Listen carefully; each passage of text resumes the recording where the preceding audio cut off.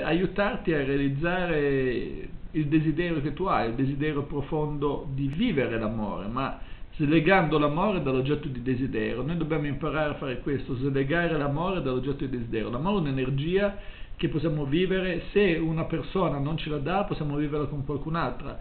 Eh, diventano strumenti, diciamo così, le situazioni, eh, diventano strumenti finalizzati a, alla crescita personale, ma in un rapporto di interdipendenza positivo che si può creare con le persone che ci interessano. Quindi è importante il rapporto di interdipendenza positivo, non un rapporto di interdipendenza negativo, cioè la relazione deve essere positiva, deve dare energia positiva e allora si crea un'interdipendenza positiva. Quando la relazione ti dà un'energia negativa, non ti dà quello che tu vorresti, entri in uno stato di malessere, allora devi avere la forza di chiudere, di lasciare, di guardare oltre, perché soltanto attraverso questa forza tu potrai risolvere, tra virgolette, le situazioni della tua vita, situazioni della tua vita che altrimenti non si risolveranno mai, altrimenti resteranno sempre eh, come dire, irrisolte e questo non, eh, non, fa bene né a te stesso né, né agli altri fondamentalmente, né, né all'altra persona. Quindi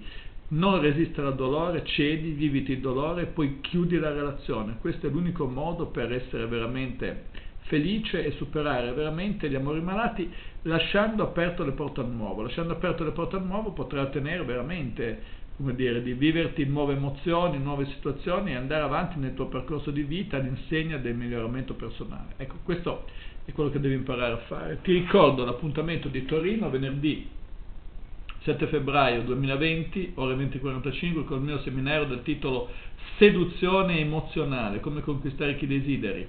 E poi eh, l'appuntamento di Milano, domenica 1 marzo, 9.30-19, autostima e seduzione in amore nel lavoro. E il riferimento è il 333 15 11 703.